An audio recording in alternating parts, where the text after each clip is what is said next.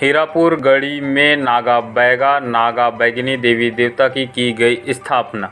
आपको बता दें कि गुरुवार को ज़िले के गढ़ी क्षेत्र अंतर्गत ही ग्राम हीरापुर में नागा बैगा, नागा बैगनी देवी देवता का स्थापना पर्व पारंपरिक, सांस्कृतिक एवं हर्षोल्लास के साथ में मनाया गया। इस दौरान सैकड़ों की संख्या में क्षेत्र के आदिवासी बैगा समुदाय के लोग भी मौजूद रहे।